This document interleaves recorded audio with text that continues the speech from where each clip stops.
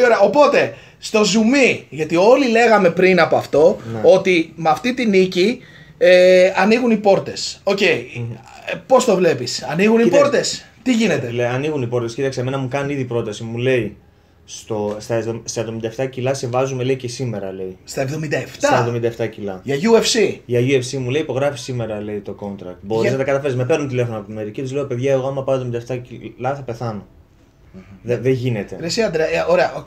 Πόσο, πόσο περπατάς σε Εγώ- μια τυπική ας πούμε σεζόν χωρίς, να, χωρίς τραυματισμούς; Ας πούμε όταν είσαι ενεργός πόσο, Ναι. πόσο περπατάς, 93, Είμαι 95-96.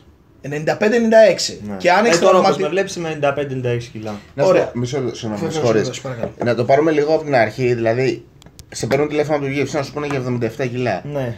Ο, Ο, manager. λόγο, ο λόγος που σου λένε 77 κιλά είναι ότι ε, χρειάζονται ας πούμε π.χ. άτομα σε αυτή είναι την στάκι, κατηγορία. είναι λίγο στάκι κατηγορία στα 84. στα 84. Αυτό είναι. Λένε- Οπότε σου λένε πέσε. αφ- μ, Ε, πιο άμα κάτω. θες, μου λένε, αν μπορείς να, μπορείς να παίξεις τα 77, μου λένε γιατί θα μπορέσουν να σε βάλουμε κατευθείαν. βάλουμε τώρα. Γιατί Ναι, ναι. ξέρεις και οι manager αυτό κυνηγάνε να σε βάλουν κατευθείαν. Ναι, Αυτοί ναι, θέλουν ναι, και ναι, όλοι ναι, θέλουν. και, τα, και τα ναι. 77 είναι ψηλό stacked βέβαια έτσι. Τώρα. Ναι, εντάξει, εμένα μου είπαν. Αυτοί βέβαια ξέρουν καλύτερα. Δηλαδή μπορεί να Ό,τι βλέπουν μου ότι- είπα, σα λέω, παιδιά. Ναι, ναι, ναι, Τώρα ναι, δεν ναι. ξέρω τι γίνεται εκεί πίσω. Οκ.